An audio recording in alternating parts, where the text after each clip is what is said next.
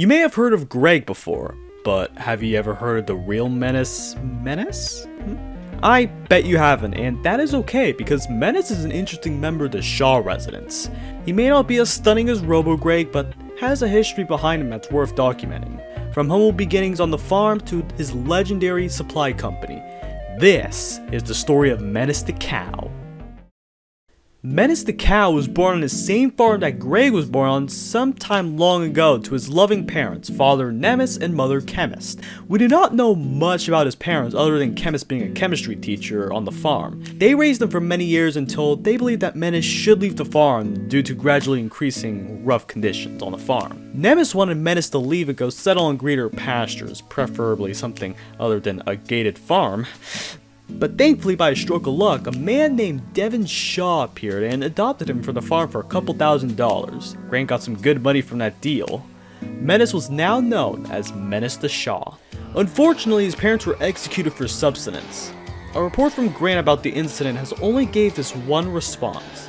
Though Grant in the interview has given off vibes that he does not remember the incident well, so it is kind of to be expected that he would give such a response.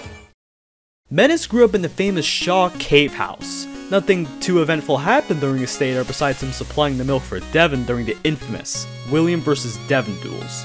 His milk helped Devon get the win against William and changed the course of history forever. After the duels, Menace decided to start up a milk company in Gubaria, which was rather successful, being a sensation in Gubaria. Things were rather quiet until Ben appeared.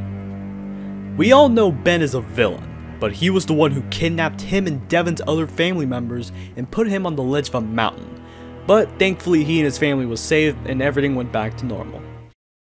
Things then returned to chaos when Devon started his ultimate grand master plan, the Dictator Plan. To put it in short, he wanted to conquer the realm by setting up bases where his family becomes retainers for those bases.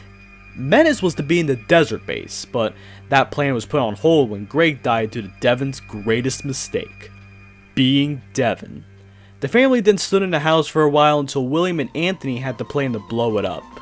The family was ordered to evacuate the house and get to a safe location to safely secure them from any danger. Then later on, the house was blown up to smithereens.